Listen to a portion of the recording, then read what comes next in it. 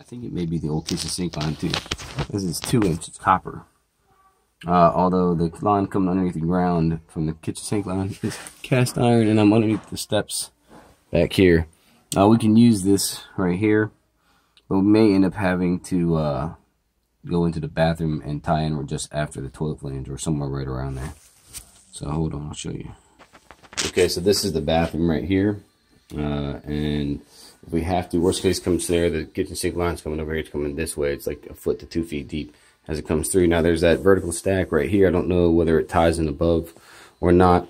But if we're doing PVC, we could bring it in, bring it down the wall right here and jackhammer here, or bring it in and tie it into that two inch stack right here. The floors are buckling because uh, there's no bottom to this pipe.